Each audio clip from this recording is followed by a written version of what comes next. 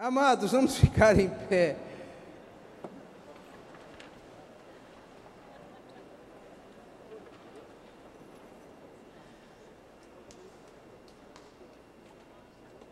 É livro do profeta Daniel, uma passagem muito conhecida, mas nesses alguns minutos aí para frente, quem sabe Deus possa ter uma palavra para nós aqui nesta noite.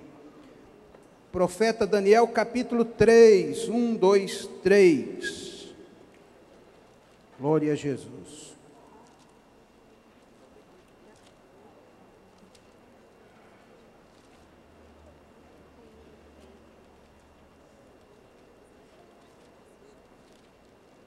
Eu quero parabenizar, enquanto os irmãos procuram, as nossas irmãs aí do, do que estão cuidando da, da mídia aqui da igreja, especialmente o Data Show. Olha, hoje eu fiquei muito feliz. E eu tenho certeza que a igreja inteira, porque eu pude participar dos cânticos, porque a letra estava aqui. Então, uma experiência muito interessante, pastor Samuel, porque o coral não cantou sozinho, quase que a igreja toda cantou com coral.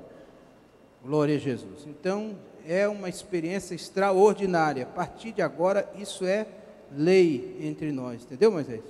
Glória a Jesus. Não se canta aqui sem botar letra. Não se canta, a gente acha bonita a música, mas não entende nada. Aí acha bonita a melodia, mas não entende a canção, né? Então ficou uma mensagem, nós entendemos, todos nós somos edificados. E Deus já vai falando através dos louvores, isso é o mais importante. Né?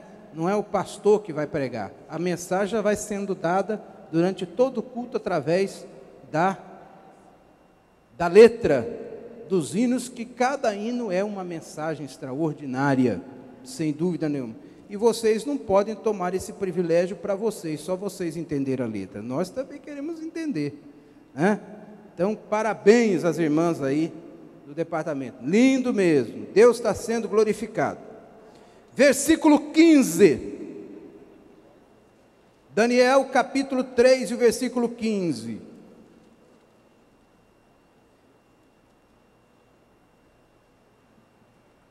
Agora, pois, se estáis prontos, quando ouvirdes o som da buzina, pífaro, da guitarra, da harpa, do saltério, da gaita de foles e de toda sorte de música, para vos prostrardes e adorardes a estátua que fiz.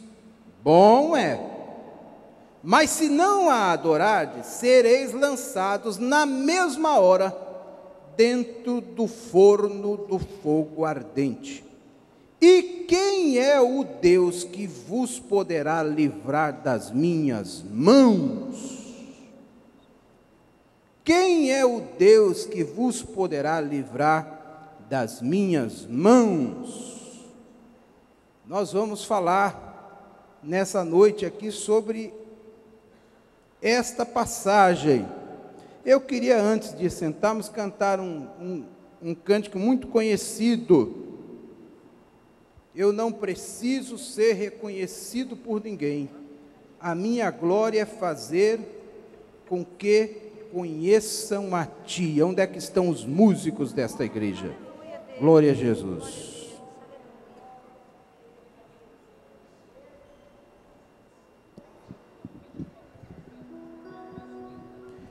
Eu não preciso ser reconhecido por ninguém a minha glória, a minha glória é fazer com que conheça ti e que diminua eu e que diminua eu, para que tu cresças em mim mais e mais. Cante comigo todos juntos e como serafins que cobrem o rosto ante a ti. Escondo o rosto para que vejam tua face em mim. E que diminua, e que diminua eu, para que tu cresça, Senhor, mais e mais no Santo dos Santos, a fumaça me esconde, só teus olhos me veem, debaixo de suas asas és meu abrigo, meu lugar secreto, tua graça me bate, tua presença é o meu prazer. Eu não preciso ser reconhecido por ninguém, vamos. Eu não preciso ser reconhecido por ninguém. A minha glória é fazer com que conheçam a Ti e que diminua eu, e que diminua eu, para que tu cresça, Senhor, mais e mais. E como os serafins, e como os serafins que cobrem o rosto ante a ti Escondo o rosto para que vejam tua face em mim. E que diminua, vamos! E que diminua eu, para que cresça, Senhor. Mais e mais,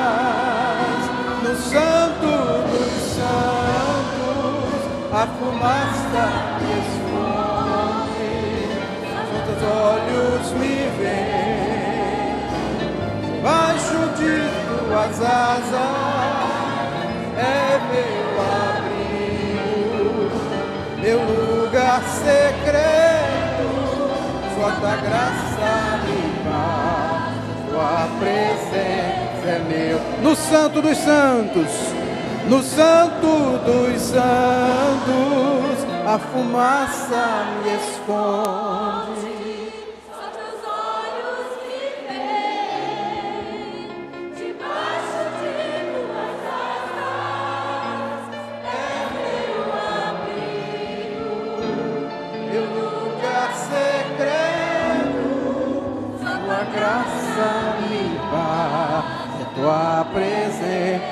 Uma vez no Santo dos Santos, levante sua mão. Adore a Deus.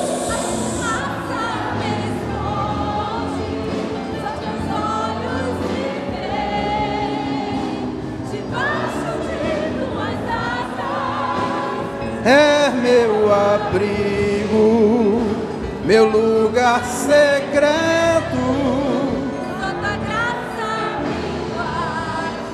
Tua presença é o meu prazer, tua graça me bate, teu presença é o meu prazer, tua graça me bate, tua presença é o meu prazer. Aleluia! Vamos aplaudir ao Senhor Jesus essa noite.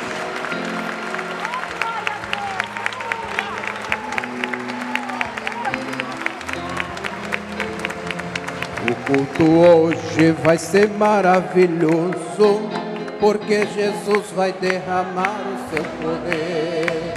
O culto hoje vai ser maravilhoso. Derrama!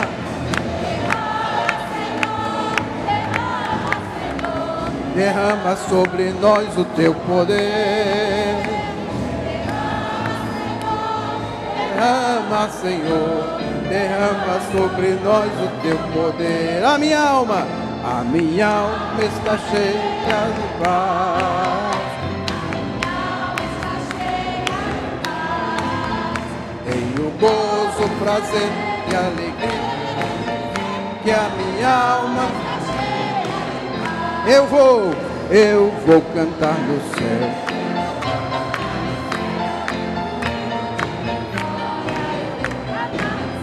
Eu vou cantar no céu, eu vou cantar no céu. Fé mais fé, vamos! Fé mais fé.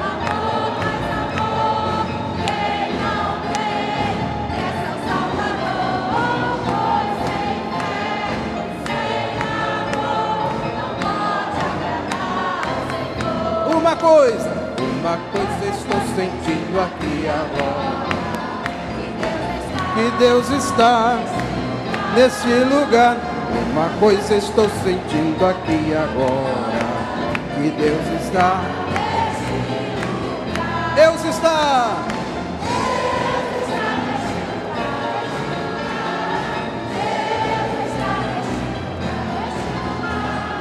O Espírito Santo me revela que Deus está nesse lugar. Deus está, Deus está nesse lugar, nesse lugar.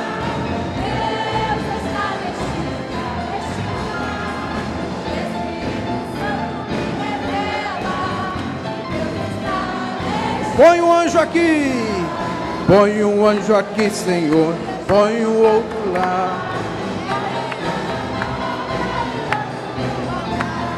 Põe um anjo aqui, Senhor.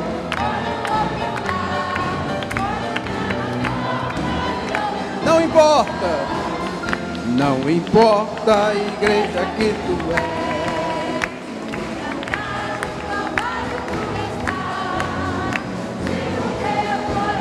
Dá a mão pro seu irmão aí, vai. Dá minha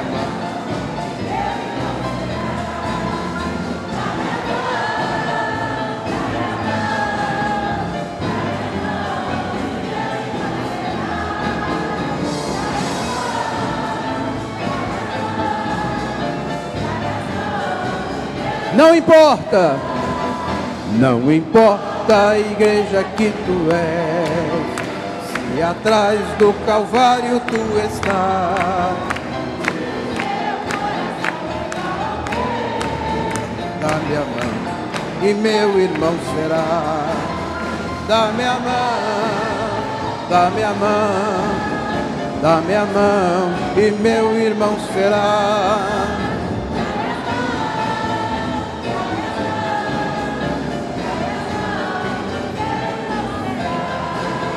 Desde o dia que aceitei Jesus. Cante, irmão!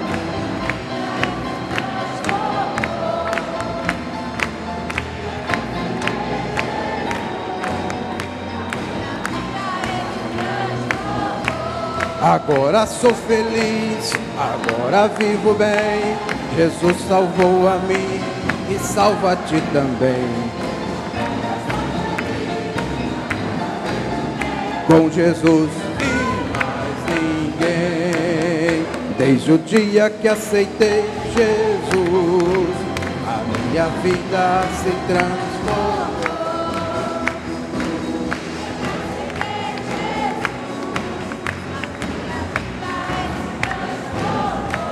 Agora sou feliz, agora vivo bem. Jesus salvou a mim e salva-te também.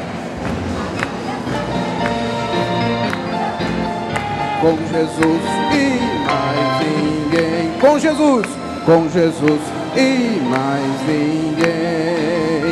Com Jesus e mais ninguém. Eu tenho um amigo que me ama, me ama.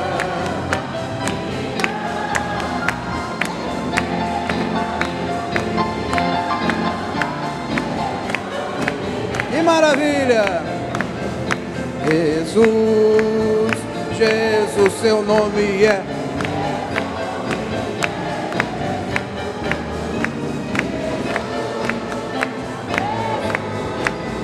Seu nome é Je... Eu tenho um amigo que me guia. Me guia, me guarda. Eu tenho um amigo que me guarda. Seu nome é Jesus. Jesus, seu nome é. Seu nome é. Seu nome é Jesus. Jesus.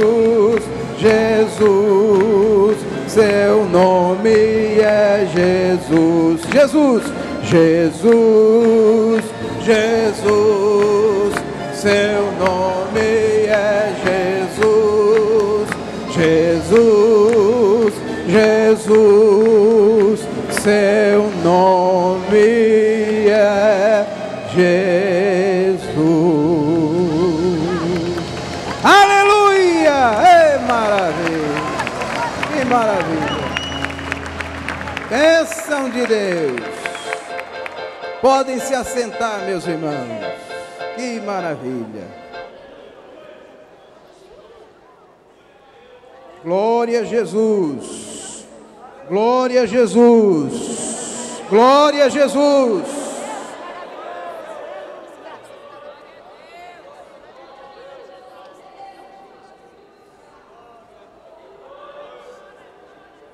Esses três jovens, Sadraque, Mesaque e Abednego, Daniel, como é o nome deles? Ananias, Misael e Azarias. O Daniel a gente não sabe onde é que ele estava aqui. Mas também não ficou fora da prova, não, porque na hora que Daniel também foi para a cova dos leões, eu também não sei onde é que estavam os três. Então ficou. Um escapou da fornalha, mas caiu na cova dos leões, né? E aqueles que entraram na fornalha escaparam da cova dos leões. Então ficou. Eu não sei o que, que é pior, ou o que, que é menos ruim. Melhor, acho que nenhum dos dois, né? Eu não sei se é mais fácil dormir com um leão faminto ou ser queimado ou correr o risco de ou ir para a fornalha de fogo ardente. Eu não sei. Eu não quero nenhum dos dois para mim e não desejo nenhum dos dois para ninguém. Esses três jovens, eles foram guindados a uma posição de alto destaque no governo de Nabucodonosor. Juntamente com Daniel, eles trabalhavam nos altos cargos do palácio do rei. E Nabucodonosor teve um sonho muito inquietante. E naquele sonho ninguém conseguiu revelar o sentido ou a interpretação, até que veio Daniel e disse: Olha, o senhor, em, em síntese, o seu governo é um governo muito forte, muito poderoso. Mas se o senhor não temer ao Deus verdadeiro, o seu final vai ser muito triste. Você vai ser deposto do seu governo. E você vai ter um momento na sua vida de muita humilhação. O seu, seu governo vai cair por terra. É o que eu estou vendo aqui, o que Deus mandou falar, o que Deus me revelou foi isso aí. E num primeiro momento, o Nabucodonosor até glorificou a Deus, porque Deus havia lhe avisado disto. Porque o sonho é sempre um aviso, irmão, até mesmo para o mundo, para os ímpios, irmão, é sempre um aviso. Deus não fala, não faz nada sem que avise os seus escolhidos. Mas não é só isso não, às vezes um ímpio também tem um sonho. Né? Deus fala com ele, avisa ele. Esse negócio de sonho é uma coisa tão interessante que existe até livros que você compra de pessoas que é, dizem que são entendidas na interpretação de sonhos. Bota lá algumas figuras, não é? Quando você vê tal figura, quer dizer que é isso, que é aquilo. Tem até livro que você compra na livraria para isso. Tem gente que faz até estudo disso.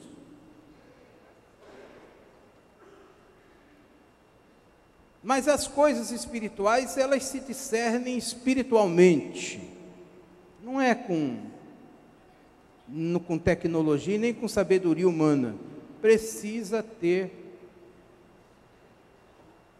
a iluminação e a inspiração do Espírito Santo. Deus falou com Nabucodonosor e lhe avisou. E num primeiro momento, Nabucodonosor até agradeceu e glorificou a Deus. Você vai ver isso no capítulo 2 de Daniel. Mas passou algum tempo, Nabucodonosor não quis adorar a Deus como verdadeiro, mas quis enfrentar ou afrontar a Deus. E resolveu a erigir uma estátua. As medidas estão aqui, 30 metros mais ou menos de altura, por uns 3 metros de largura. Você já parou para imaginar, irmão, uma estátua desse tamanho? Esse, esse templo aqui tem a altura de quantos, pa- pastor? 37 metros, mais ou menos dessa altura aqui, um pouco menos.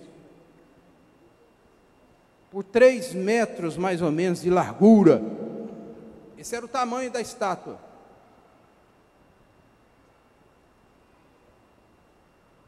E mandou dar ordem a todos os seus governantes ou ministros, governadores e prefeitos,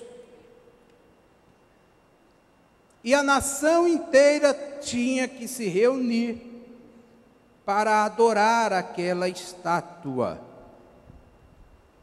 Aquela estátua nada mais era do que a personificação do próprio Nabucodonosor. O que Nabucodonosor estava fazendo era nada mais, nada menos do que confrontando a Deus. Isso eu quero saber se existe alguém mais poderoso do que eu aqui. Todo mundo vai ter que se dobrar diante de mim. Todo mundo vai ter que me adorar. Eu quero, não quero, não estou satisfeito com apenas a posição de governante, não. Eu quero ser alguém não somente admirado, mas adorado neste lugar.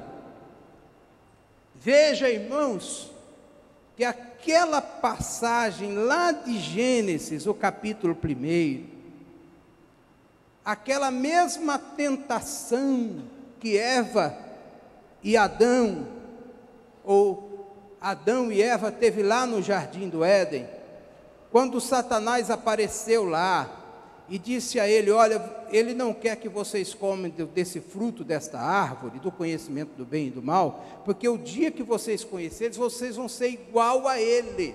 Não vai ter diferença entre Deus e vocês. Vocês terão as mesmas capacidades que ele, vão ser igual a ele. Irmão, qual foi o problema? E a primeira guerra que houve do céu, teve guerra no céu? Teve, irmão. Guerra- esse negócio de guerra, irmão, não é assunto só da terra, não. No céu já teve guerra também. E qual foi a guerra lá? É porque um querubim ungido resolveu a fazer ou tentar aliciar um grupo de anjos para se tornar igual a Deus, fazer um governo paralelo.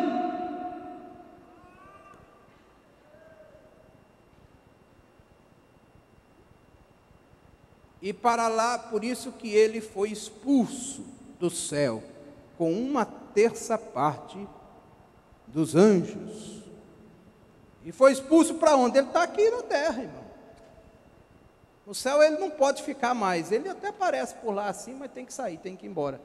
Eu acho que quando ele aparece por lá, ele deve ter sentido uma saudade tremenda. Mas ele não pode ficar lá. Ele só vai lá para nos acusar.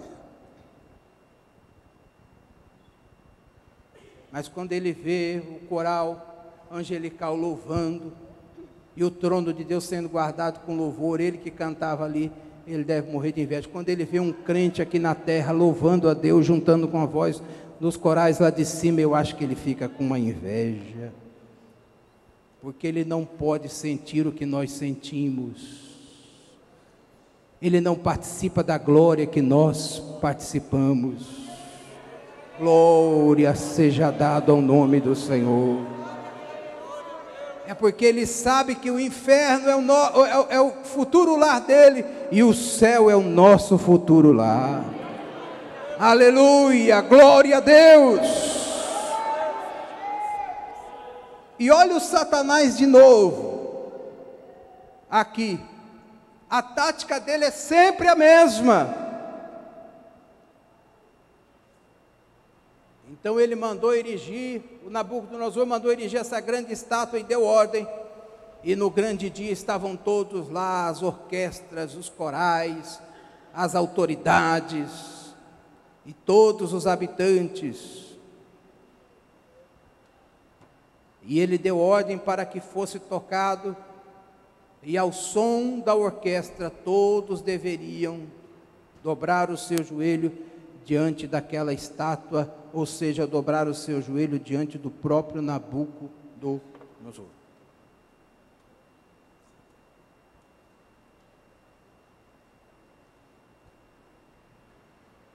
Mas lá no meio ficaram três jovens em pé.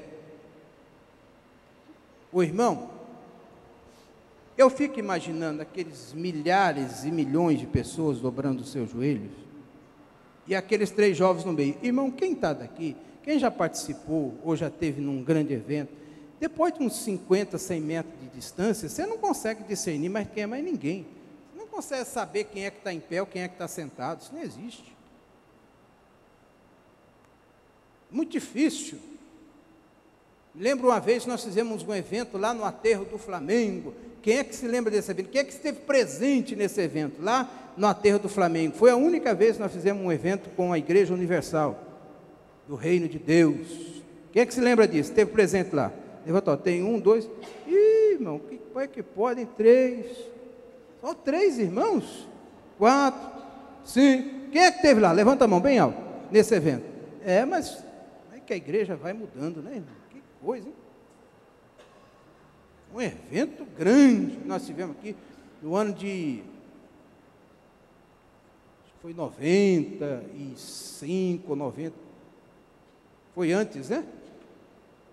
93, por aí. Um evento grande que essa igreja realizou. Quando aquelas perseguições contra a igreja universal estavam no auge. Nós fizemos um movimento grande lá.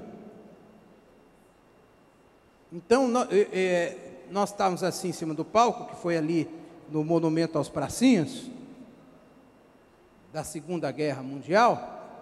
Irmão, deu mais de 2 milhões de pessoas. Mais de 2 milhões de pessoas. Você não dá para discernir isso. Che- Chegou uma hora que a gente olhava assim, e é aquele mundo de gente, aquele mar de gente, aí você não consegue discernir mais. Chega um ponto que a tua vista você não consegue. Você vai até um lado, mas alguém chegou assim, pastor, o senhor está vendo lá? Estou. Disse, pastor, tem mais um tanto de gente lá para trás. Eu disse, ah, mas não é possível. Ele disse, pois é isso mesmo, pastor. Tem mais um tanto de gente, o senhor está vendo, seus olhos estão enxergando ali? Ali é mais ou menos a metade. Dali para frente ainda tem uma multidão. Então eu fico olhando esses milhares e milhares de pessoas ali diante daquela estátua, e esses três jovens estavam no meio da multidão e permaneceram em pé. Irmão, o rei em São Consciêncio jamais ia condição de ver. Não conseguia discernir, não. Mas teve uns X9. Esse X9 sempre persegue as igrejas. Que disse: Olha, tem três rapazes aí que não dobraram o seu joelho. Mas como é que eles conseguiram enxergar esses três rapazes no meio daquela multidão, irmão? Na minha opinião, é porque aqueles homens estavam de olho naqueles três jovens. Eles já estavam perseguindo eles há muito tempo. Para mim, eles já estavam dizendo: vamos ver se eles vão dobrar o joelho ou não. Nós armamos direitinho, agora nós vamos ver. Nós vamos pegar ele na lei do Deus deles. Você, quando é um crente fiel, sincero a Deus, vai ter sempre alguém de olho em você. alguém que vai sentir inveja de você, alguém que vai querer o teu mal. E não é porque você é mal, não, é porque você é bom. Porque as pessoas que estão possuídas e cheio de demônios, elas não gostam de você. Não são elas, não, é o demônio que está na vida delas. Aquele mesmo demônio que pegou Saul para perseguir Davi, porque Davi só fazia o bem para Saul, está hoje ainda rondando muitos lugares de trabalho, muitos locais de, tu, de estudo, e pasme, muitos lares, muitas famílias, e pasme mais ainda, e às vezes, muitas vezes, dentro das igrejas.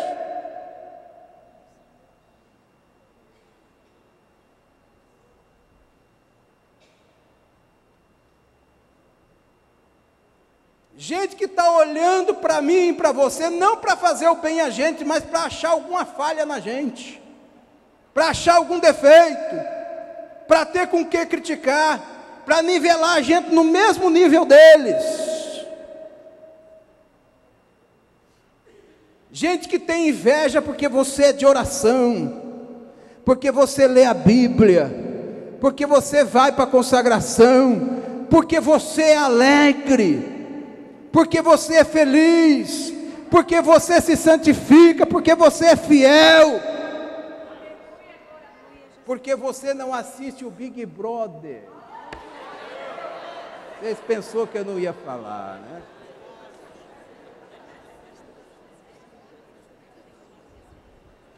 Pastor, o senhor sempre dá um jeito, né? Ah, mas você acha que eu não vou dar? Enquanto o carnal está lá assistindo o Big Brother, você cai fora e diz, eu não vou assistir isso não. Você diz, aí, tá, tá vendo? Parece até mais santo, quer ser mais santo que todo mundo aqui em casa. Quer ser mais crente que todo mundo. Quer ser melhor. Você não é melhor do que ninguém.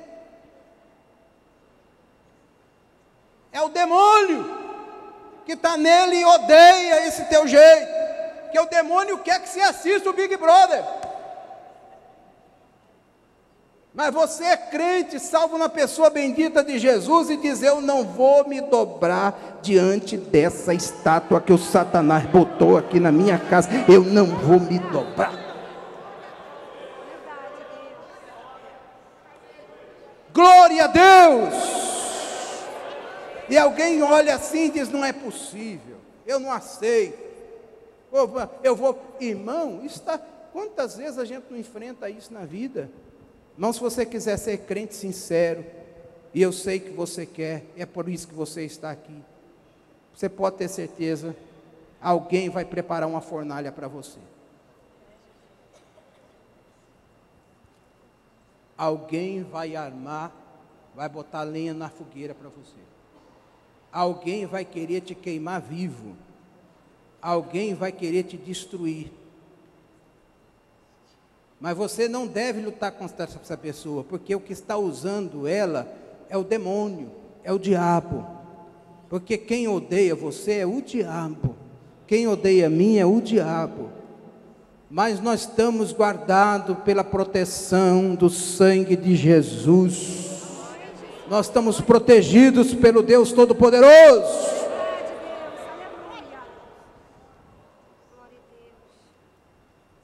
Alguém já logo chegou assim e disse: Ô rei, parece que todo não, mas não é todo mundo não. Tem três aí que não dobrou. O rei falou: Como é que é? Não, tem três aí que não dobrou o seu joelho, não. Ele disse: Vamos dar mais uma oportunidade. Aí tocou, e aí? Não. Disse: Manda buscar esses três rapazes. Aí buscaram, lá vem os três. Gente simples, Ele disse: Eu queria saber se vocês não estão entendendo. Vocês estão no mundo da lua? Vocês não estão entendendo o que está acontecendo aqui? Para que, que eu reuni essa multidão aqui? Disse, não, nós estamos entendendo tudo. Crente entende tudo, irmão. Crente entende tudo. A Bíblia diz que nós temos a unção dos santos e sabemos tudo. Aleluia. Isso nós estamos entendendo. Disse, mas vocês vieram, viemos. Para participar? É, viemos. Ah, mas não estão dobrando já, por quê? Não, nós não vamos dobrar, não. O rei disse, como é que é? Disse, não, vamos dobrar, não. Nós já entendemos o que o senhor está querendo. Nós servimos a um Deus, o Deus dos nossos pais. Nós estamos aqui nesse cativeiro, mas nós ainda somos crentes. Nós não vamos se dobrar diante do Senhor, não. O irmão é desse tipo de crente abusado que o mundo está precisando. Esses crentes conformados, irmão, esses crentes que qualquer coisa para ele está tudo bem, isso não resolve, irmão. Nós estamos precisando nos dias de hoje é de crente desse jeito, crente enjoado. Você sabe o que é um crente enjoado? É aquele crente que não negocia santificação, não. Ele é crente que é crente mesmo. E o crente crente, servo de Deus, ele é sempre um estorvo para quem quer fazer coisa errada.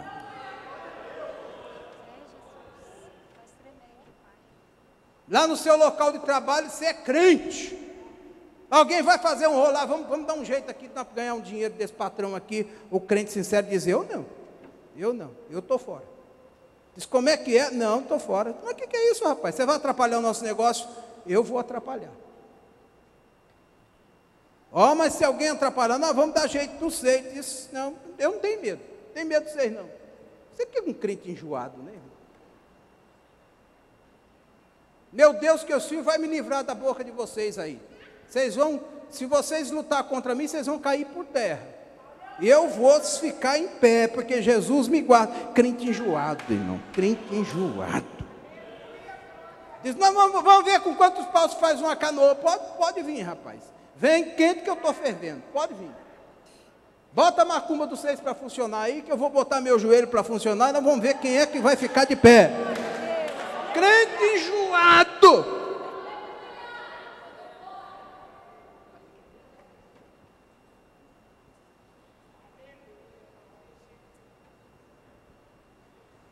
Glória a Jesus. Ah, pastor, mas o senhor está sendo radical demais, irmão. Crente, para ser crente mesmo, tem que ser radical, irmão. Radical. Sim, senhor. Ou você é, ou você não é. Ou você serve a Deus, ou você não serve.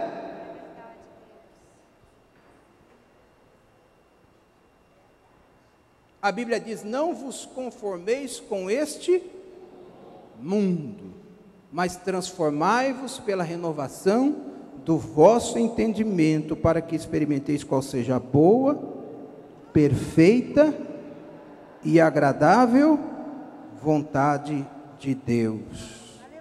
Mas a hora que você resolve ser um crente sincero diante de Deus, alguém vai preparar uma fornalha para você. Quem sabe você está aqui nessa noite e você está começando a sentir o calor dessa fornalha. a labareda velha está pegando assim perto do teu pé, lambendo teu lombo, batendo assim, de vez em quando bate na tua cabeça. Você está sentindo o cheiro de, de carne queimar. A coisa está aquecendo para o teu lado. Ou às vezes pior, você já está na fornalha mesmo. Tem um hino que Edinaldo do Rio canta que é tem que dar é, tem que dar glória na prova, tem que dar glória na prova para receber vitória. Depois tem outro que ele diz: vai entrando na fornalha para ser aprovado. Vai entrando na fornalha para ser aprovado. Quem é que conhece esse aí? Hein? Quem é que conhece isso aí? Isso é coisa de crente pentecostal do pé roxo. É gente que gosta do reteté. Né? Isso não é coisa de cantar assim num culto domingo à noite, não. Glória a Jesus. Isso aí é só para vaso. Canela de fogo. Vai entrando na fornalha para ser aprovado. Eu não quero entrar, não. Eu encontrar com o Edinaldo e irmão, estou fora de você desse hino aí. Entrando na fornalha para ser aprovado, irmão, mas tem hora que você, às vezes, não quer entrar na fornalha. Ninguém quer entrar na fornalha. É alguém que te coloca na fornalha. Você nunca vai entrar por conta própria, porque você não é doido. Ô irmão, estou correndo atrás de prova, quero ser mais crente, irmão. Quer ser mais crente, irmão? É, estou correndo atrás de prova, irmão. Estou correndo atrás de luta. Ninguém vem na igreja correr atrás de prova. Ninguém vem na igreja correr atrás de luta. A gente vem é para ficar livre dela. Ninguém é doido. Ô irmão, estou correndo atrás de uma prova, irmão. Leva esse irmão para a. Como é o nome dessa que tem aqui? É, o, Lu, o Luiz Pedro trabalhava lá. Engenho de dentro. Hospital de doido. Você está doido, meu irmão. Não, eu gosto de ser provado. Eu não gosto de ser provado, eu gosto de ser aprovado. Se eu puder ser aprovado sem prova, é melhor ainda. Mas não tem jeito. Você não corre atrás da luta, a luta é que às vezes te encontra. Você não vai ficar procurando fornalha para entrar nela. Porque às vezes, irmão, a gente corre esse risco também, né? A Bíblia diz: Não tentarás o Senhor teu. Tem gente que está na prova aí porque abusou da vontade de Deus, ou brincou com as coisas de Deus. Aí é diferente. Aí é diferente, né? Às vezes a pessoa não vigiou, sofreu um acidente, aí eu estou na prova. Não, você está na prova porque você não foi vigilante. É diferente. Eu estou falando é dessas fornalhas que montam para a sua vida, que você não quer, que você corre dela. Jó disse uma vez: O mal que eu temia me sobreveio. Jó fazia de tudo para fugir do mal.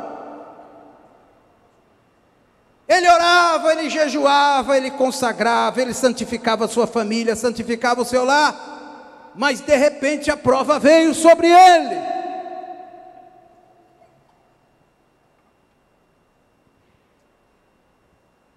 E um dos versículos mais fortes da Bíblia Sagrada é esse, essa palavra de Jó, diz: O mal que eu temia me sobreveio.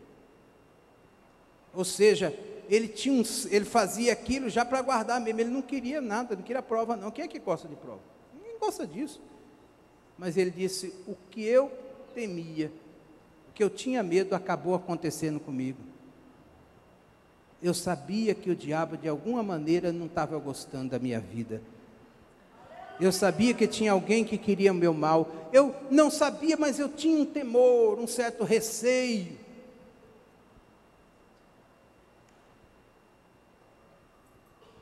E quantos de nós não passamos na mesma situação de Jó, né, irmãos?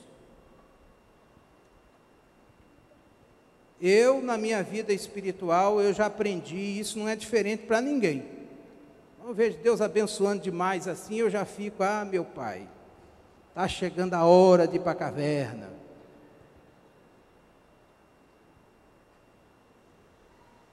Porque a vida do crente é isso o tempo todo, irmão. Eu já falei isso aqui algumas vezes. É trono e caverna, irmão. Tem dia que você está lá no trono, está no pinca da glória, tá, vai dando tudo certo, irmão. Tudo que você toca vira ouro. Você já notou isso, irmão? Ó, você pega aquele texto da Bíblia, vamos botar a planta do seu pé, seu, você vai botando a planta do pé e Deus vai dando vitória, e o mar vai se abrindo, e tudo vai dando certo, as muralhas vão caindo por terra. Você está no óleo. Mas de repente, meu irmão, bate um vento. E aquele poderoso cheio do Espírito Santo, cheio de alegria, entra numa prova, irmão, e vai lá para a caverna. Fica escondido lá com medo de tudo, de todos, com medo até da sombra.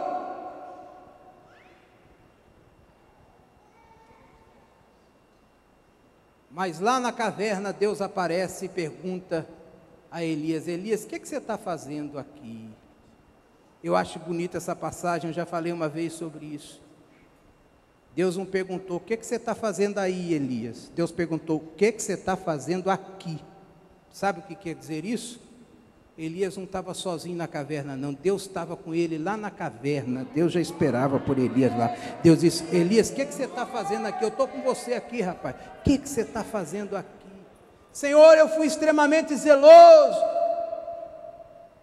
Derrubaram os teus altares, mataram os teus profetas, acabou os crentes, só ficou eu. E Deus disse: ainda tem sete mil Elias que não dobraram o seu joelho a Baal. Estão na prova!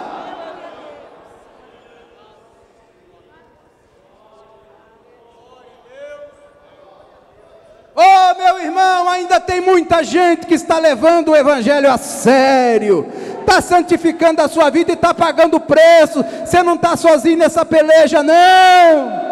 O Deus que está cuidando dele, cuida de você também. Ele não deixa os seus escolhidos. Ele não abandona, ele diz: Eu não te deixarei e nem te desampararei. Você pode glorificar esse Deus maravilhoso, vivo e poderoso. Ele está aqui nesta noite. Sinta a presença dele na sua vida.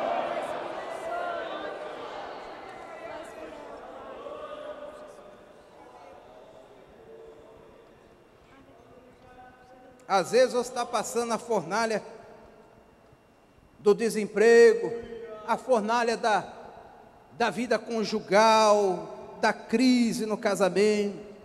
Às vezes você está na fornalha da solidão,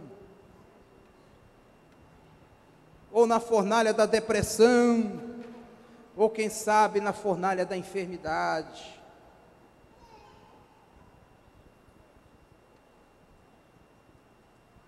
Deixa eu caminhar para o fim dessa palavra nessa noite. Quando você estiver na fornalha, você precisa ter coragem para enfrentar a situação. Não adianta correr. Não adianta correr. Não adianta se esconder, não adianta se esmorecer. Você entrou nessa tempestade e não foi você que foi colocado, você não se colocou aí dentro, não. Você foi colocado por alguém. Alguém te colocou nessa fornalha, mas esse alguém não vai cantar vitória sobre a tua vida, não. Você não vai se dobrar.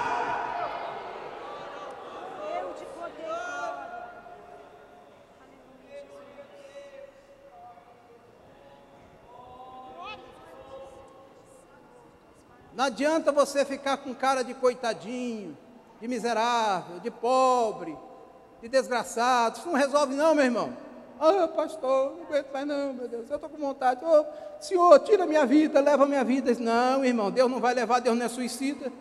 Deus não é suicida. E Deus não leva derrotado para o céu, não, irmão. Ô, oh, irmão, ora por mim, que eu estou passando na grande. Tu pede oração mesmo, meu irmão, mas você também vai orar entra na peleja. Tem um hino que nós cantamos, gostamos de cantar. A peleja é renhida. A peleja é tremenda, torna-se renhida. Mas são poucos os soldados para batalhar. Ó, oh, vem libertar as pobres almas oprimidas de quem furiosa as quer tragar. Eu quero estar com Cristo. Uai, irmão, a luta está travada aí imprevisto na frente encontrar até que possa ver na glória se alegrando na vitória onde Deus vai me com muito bem. Então a gente canta eu quero estar com Cristo onde a luta se travar. E aí o Senhor Deus olha assim e diz esse aí é dos bons esse aí, se for para a fornalha, não vai negar. Esse, se for jogado no, na cova do leão, não vai negar. Pode botar ele no meio da tempestade, que ele é firme, ele tem coragem. Ai, irmão, mas você cantou isso.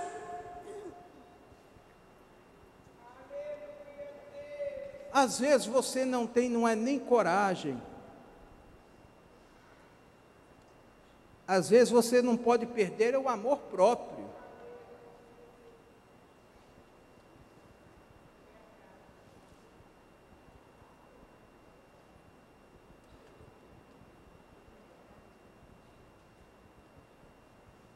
Eu estava há poucos dias ouvindo uma palavra de um sábio homem de Deus, E ele dizia o seguinte: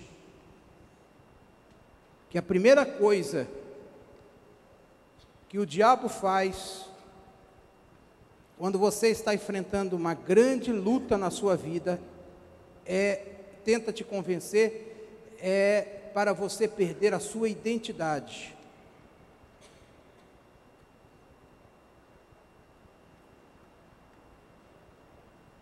Que quer dizer isso, pastor? Ele quer te anular.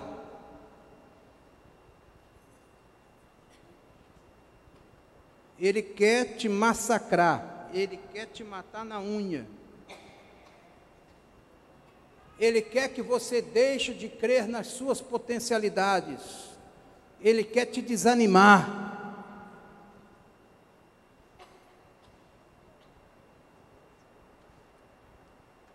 É a primeira tática do diabo.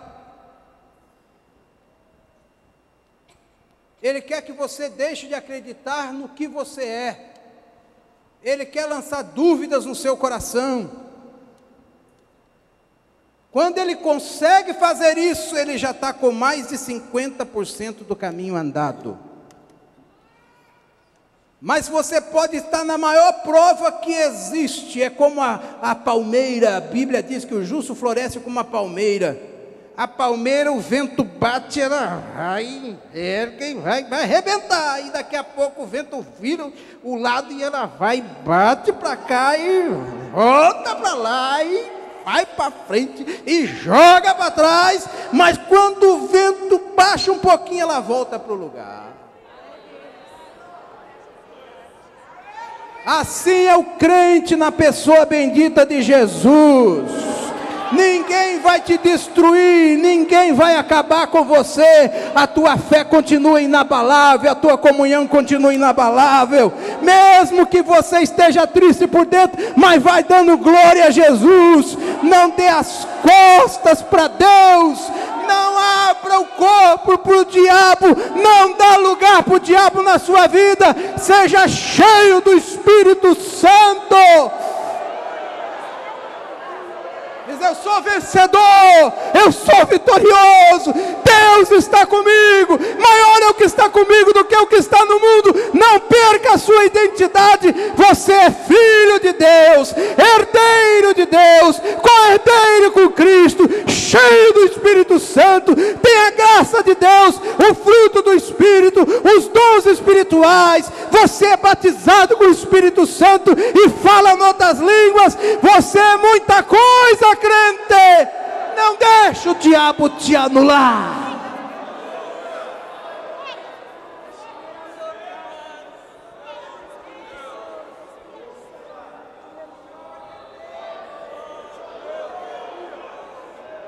Aleluia!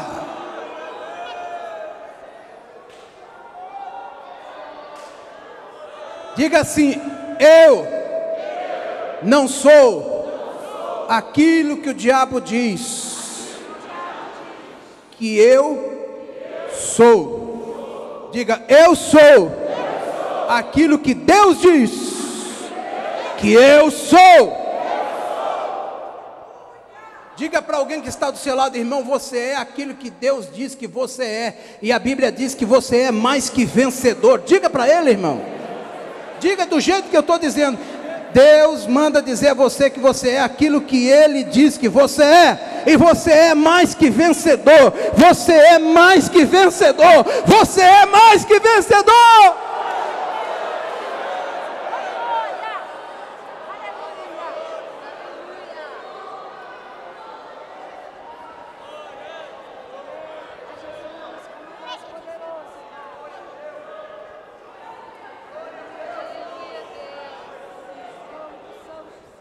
Coragem!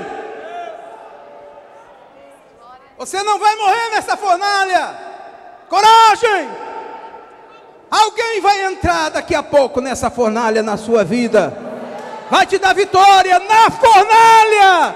Ele marcou um encontro com você na fornalha. Diga assim comigo: Deus, muitas vezes, me livra da fornalha mas quando Deus não me livrar da fornalha, eu tenho certeza que ele vai se encontrar comigo na fornalha.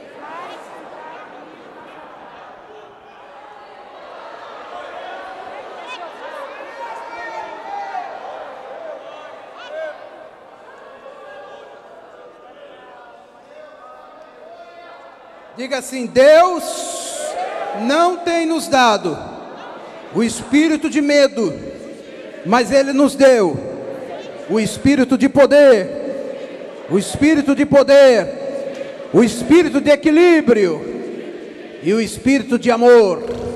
Diga assim: poder, moderação, equilíbrio, amor.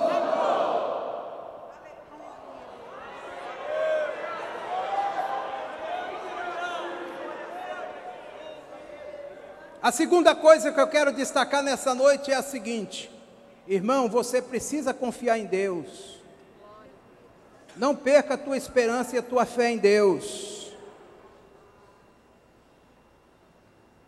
Deus está com você. Na hora, olha o que esses homens responderam. Versículo 16 do capítulo 3 de Daniel. Abra sua Bíblia aí, leia comigo.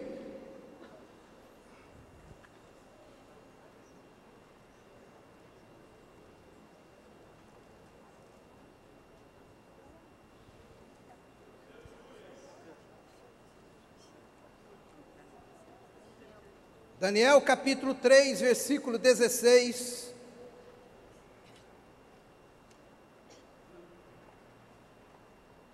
E depois o 17. Os que já encontraram, digam comigo amém. Então vamos ler todos juntos. Responderam Sadraque, Mesaque e Abednego e disseram ao rei Nabucodonosor: Não necessitamos de te responder sobre este negócio. Eis que o nosso Deus, a quem nós servimos, é que pode nos livrar. Ele nos livrará do forno do fogo ardente e da tua mão, ó Rei. Versículo 17, todos juntos novamente. Eis que o nosso Deus, a quem nós servimos, é que nos pode livrar. Ele nos livrará do forno de fogo ardente e da tua mão, ó Rei. Versículo 18, irmão, vamos continuar, vamos lá. E se não,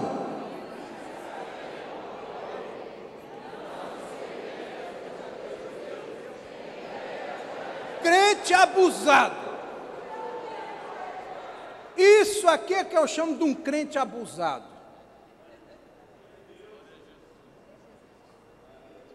Irmão, diante do Todo-Poderoso, o maioral, o homem mais poderoso do mundo, aqueles três jovens disseram: Ô rei, sobre esse negócio que você está dizendo aí, nós não precisamos nem dar, nós não vamos nem te dar resposta, não vamos perder tempo com isso, não. Nós não vamos dar resposta para o senhor. O senhor não merece. Irmão, crente abusado. O cara é doido, irmão. Coisa de doido. Gente em sã consciência não faz isso, não, irmão. O homem mais poderoso do mundo que tem poder de tirar a vida. O cara olhar assim e diz: Não, vamos, não, tem, não tem nada para responder para o senhor, não. Não vou responder. O senhor está querendo? Não, não vamos responder. Sobre esse negócio aí, nós já decidimos. Decidiu o quê? Ele disse: O Deus a quem nós servimos. O senhor está pensando que é o Todo-Poderoso? O senhor vai ver o que, que é o meu Deus. Ele tem poder para nos livrar dessa fornalha que o Senhor mandou aquecer aí, e da tua mão também. Ele tem poder. Aleluia! Eu fico pensando no meio daqueles milhares e milhões de pessoas, aqueles três jovens olhando para a cara do rei e jogando na cara dele, não é de nada, rapaz. O Deus que nós servimos te, me livra. Agora, sabe o que, que eles disseram mais? Disseram, mas se, se ele não quiser livrar, vai que ele não quer. Aquele não quer. Não tem problema nenhum, não. Só tem um detalhe: nós não vamos dobrar. Pode tocar a noite inteira aí, pode fazer o teu bailão aí que nós não vamos dobrar.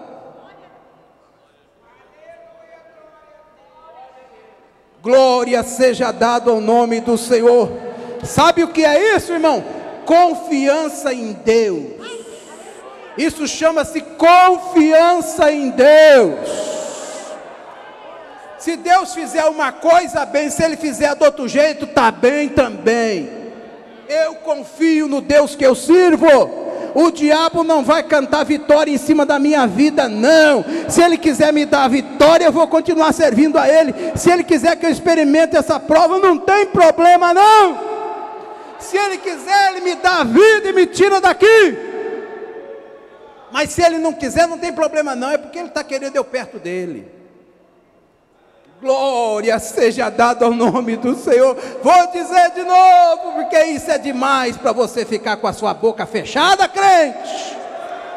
Se ele quiser, ele te livra da fornalha de fogo adentro, mas se ele não quiser, não tem problema não. É porque ele quer eu perto dele. Aleluia!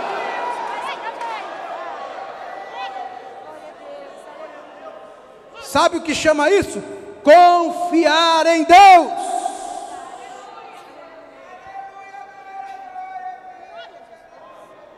Mil cairão ao meu lado, dez mil à minha direita, mas eu não serei atingido. Glória a Deus.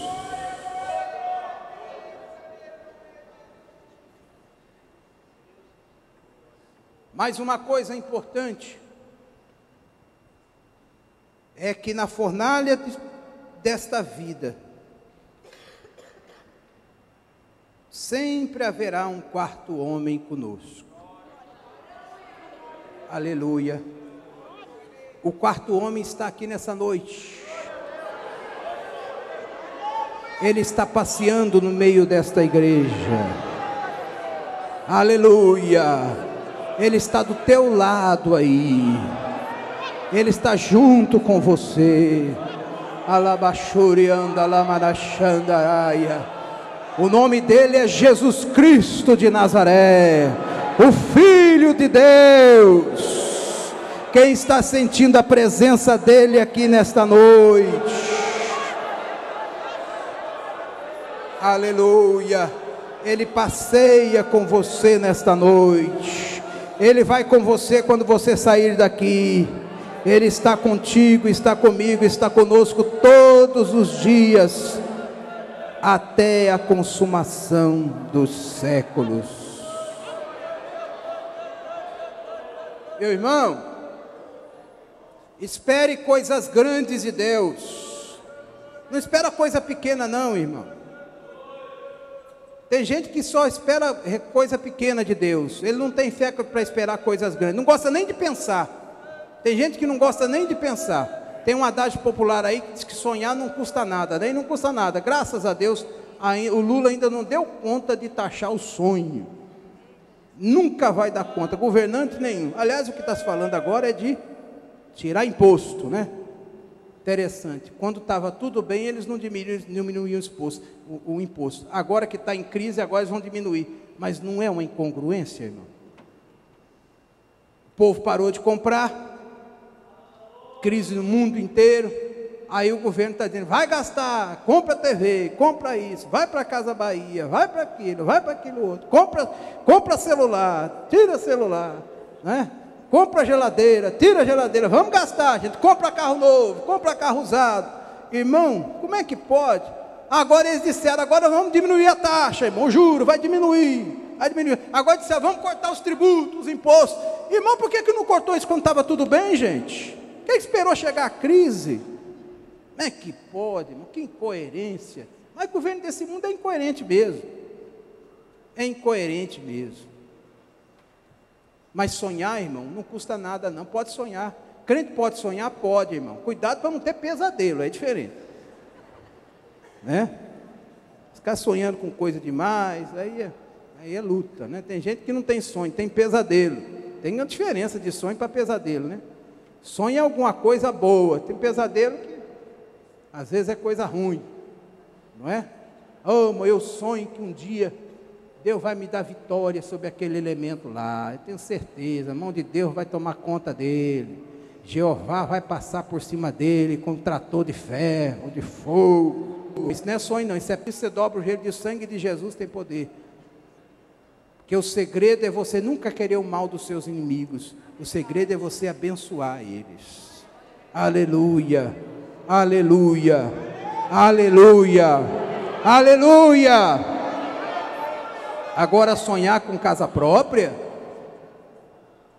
sonhar com um bom emprego, sonhar com a posição elevada na sociedade, sonhar com dinheiro no bolso, dinheiro na conta, sonhar com viagens para fora.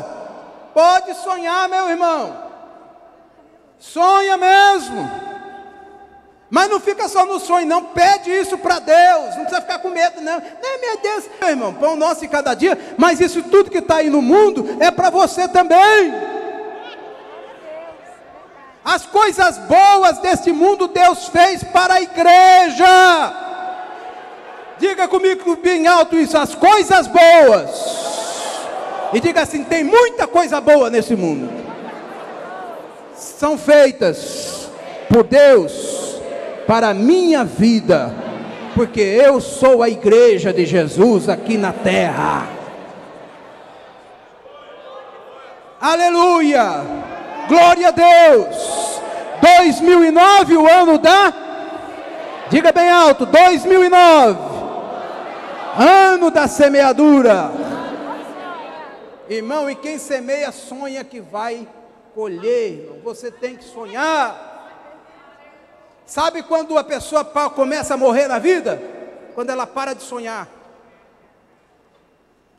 Quando você para de sonhar, você está a caminho da morte. E quem não sonha mais é um morto vivo. Ah, pastor, mas minha idade está muito avançada e tudo. A Bíblia diz: os velhos terão sonhos.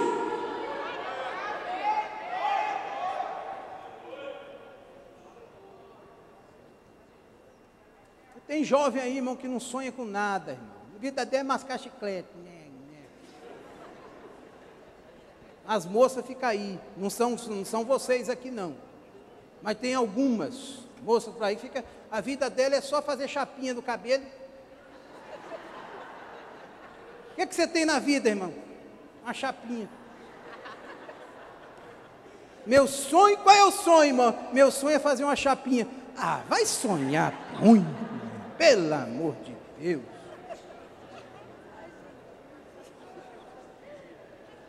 Mascando chiclete dia todo. Acho que é para ver se pega no tranco. Né? Né? E trocando mensagem no Orkut. Dia todo, irmão. Sonho com na verdade eu nem sei que eu. Não, eu não, não- não penso nada, estou aí. Tô. Como é que é, meu irmão? Vai ou não vai? Ai, tô mesmo, estou ruim, estou mal.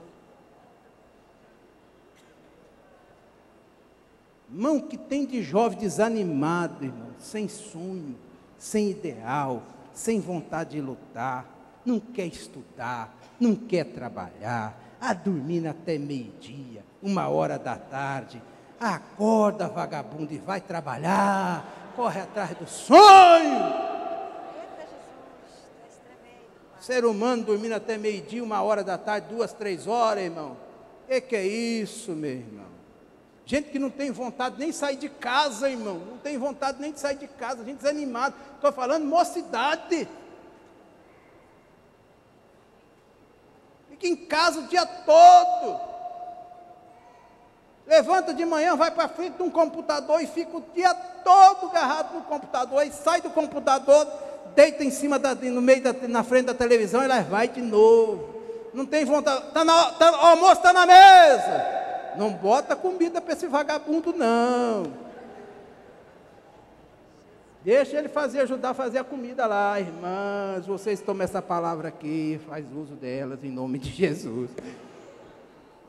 Eu estou ajudando vocês. Né? Não, quer almoçar? Então, o que, que tem hoje para comer? O que, que tem para comer? Hoje é arroz, feijão e zoião.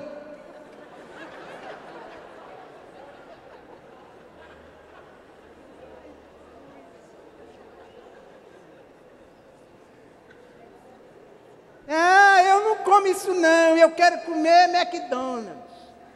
Liga lá, liga. Como é que pode? Liga lá pro motoqueiro trazer minha pizza, meu McDonald's. Ah, vagabundo. Mas não, mas eu sou membro da Assembleia de Deus, mas é vagabundo. Membro da Assembleia de Deus, vagabundo. Ama, mas eu sou até obreiro. É vagabundo.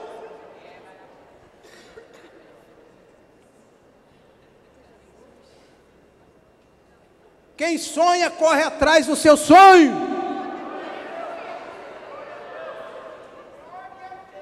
Você não vai acordar e no outro dia vai amanhecer rico, não, meu irmão. Crente não ganha na loteria, não. Crente confia em Deus. Crente trabalha, crente luta, crente semeia, mas com a certeza que vai colher em nome de Jesus, porque Deus é que dá o crescimento. Você pode glorificar a Deus nessa noite, irmão?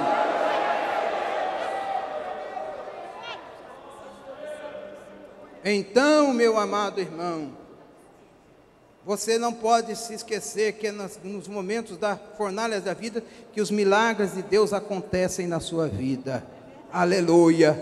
Deixa eu dizer a você, glória a Jesus, que maravilha.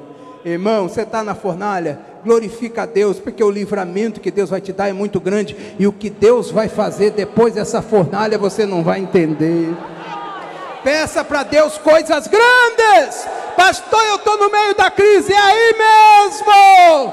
Como é bom que o diabo saiba que ele não acabou com você e não vai te destruir, porque você no meio da fornalha está sonhando os sonhos de Deus.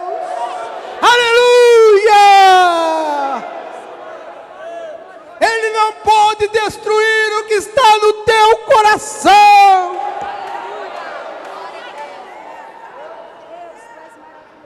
Labachore.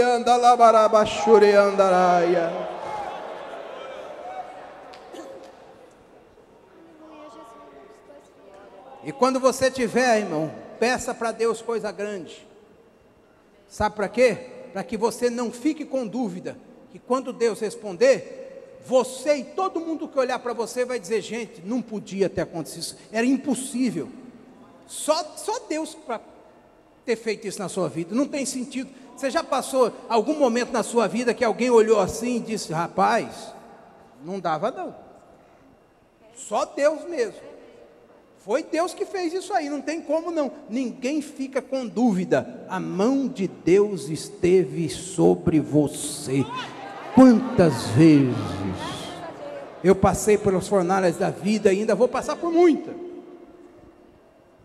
Quantas vezes e chegou lá na frente, eu olhava assim e diz: Meu Deus, só o Senhor para fazer isto, só a tua mão, não tinha jeito, as portas fecharam, dava tudo errado, mas a tua mão chegou. E quando Deus chega, irmão, Deus bota tudo no lugar. Isso pode acontecer de uma hora para outra. Às vezes é um telefonema. Às vezes você dorme de um jeito e acorda do outro. Às vezes você senta numa mesa para almoçar e toca o telefone e alguém você atende e alguém responde lá e diz: Meu amigo, pode vir aqui, está tudo certo. Está tudo, tá tudo certo o quê? Não sei. Alguém mandou eu ligar para você e dizer que está tudo certo. Pode vir para cá, a tua causa está resolvida, a tua porta está aberta. É, quem te fazia mal já caiu por terra. Louvado e exaltado seja o nome do Senhor. E você olha assim, Deus, meu Deus! O que é isso? É a mão de Deus! É a mão de Deus! É a mão de Deus! Versículo 29. Mas primeiro vamos ler, vamos, vamos terminar essa palavra como nós começamos. Versículo 15 e depois o versículo 29. Do capítulo 3 de Daniel. 3 de Daniel, versículo 15, e depois nós vamos ler o versículo 29.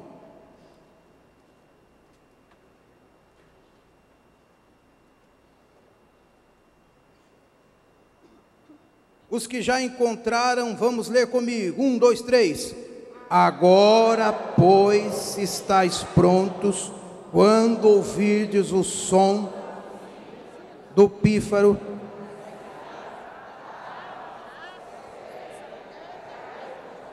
e de toda sorte de música, para vos prostrardes e adorardes a estátua que fiz. Bom é, mas se não sereis lançados na mesma hora dentro do forno de fogo ardente. E quem é o Deus que vos poderá livrar das minhas mãos? Repita comigo. E quem é o Deus?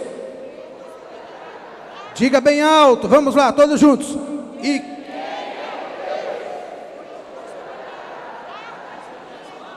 Agora fique em pé, todos com a sua Bíblia aberta. Nós vamos responder como aqueles três homens responderam. Aleluia!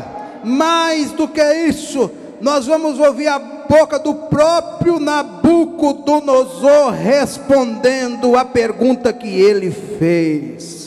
Versículo 29, todos juntos, vamos lá, um, dois, três. Pois por mim é feito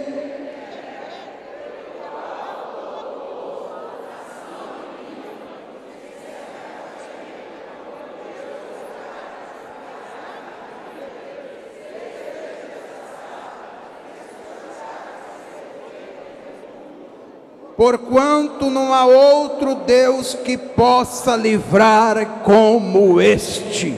Eu vou fazer a pergunta e vocês vão dar a resposta. Qual é a resposta?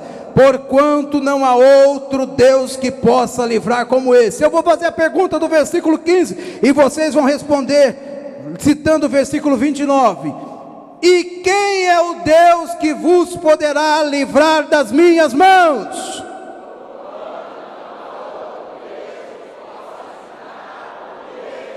Vou dizer de novo, eu quero que todo mundo leia bem alto. Irmão, enche o teu pulmão de ar, meu irmão.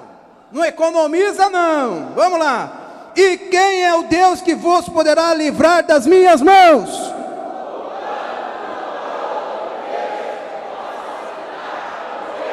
Aleluia! Diga não a outro Deus, como nosso Deus. Versículo 30, leiam comigo, todos juntos. Então o rei fez prosperar a Sadraque, Mesaque e Abednego na província. Eu fico pensando lá na passagem do capítulo 1, é, é, Daniel foi elevado a uma posição mais superior do que os outros, né? Os outros foram colocados numa posição importante, mas Daniel foi mais elevado ainda. Aqui Deus vai e diz: não vai ficar assim, não, vai ficar todo mundo em pé de igualdade. Deus vai dar mais um passo.